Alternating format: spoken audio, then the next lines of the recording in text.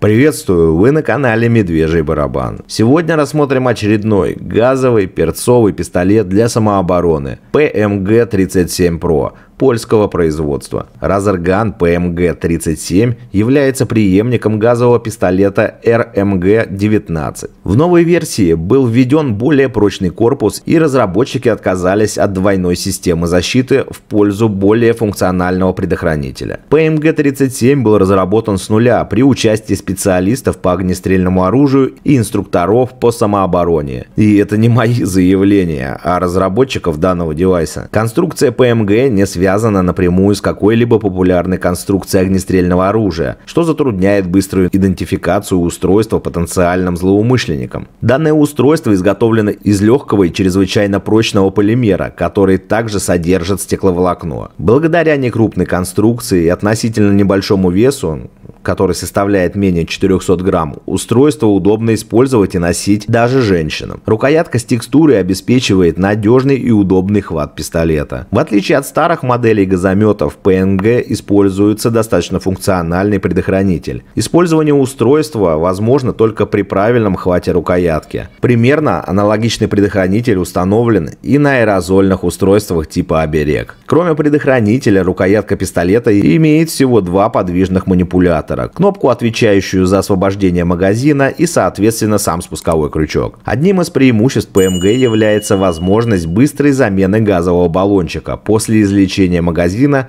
достаточно вынуть пустой газовый баллончик и установить новый. Что касается состава распыляемого вещества, это перцовый раздражитель, содержащий 10% капсацина и 1,33 основные капсациноиды с остротой 2 миллиона единиц по шкале Сковила. Дальность выбора выброса распыляемого вещества от 1 до 4 метров. Газового баллончика объемом 15 мл хватает примерно на 9 коротких или 2 длительных использования. По словам производителей, благодаря самоуплотняющемуся клапану, применяемому в газовом баллончике, его можно носить в устройстве до 3 лет. Итак, переходим непосредственно к стоимости данного устройства. Оно составляет порядка 64 долларов на европейских сайтах, что на наши получается порядка 5 5000 рублей. Стоит отметить, что газовый баллончик входит в комплектацию. Подводя итог, что хотелось бы сказать. Производитель сделал массу похожих устройств, которые мы разбирали в других роликах. Но несомненный плюс, что они это делают и пытаются каждый раз как-то улучшить свои устройства. Поэтому советую взять на заметку нашим производителям, а не по 5 лет топтаться на одном месте. Я, конечно, не топлю за то, что это какие-то супер устройства и так далее,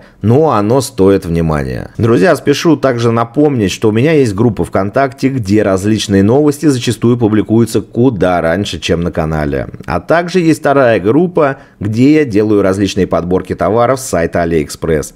Тактических и не очень тактических, но в любом случае полезных. Залетайте и подписывайтесь. Понравилось видео? Тогда поддержи меня лайком и подпиской на канал. Но обязательно нажимай на колокольчик, чтобы не пропустить новые видео. Берегите себя и своих близких. Всем спасибо. Всем пока.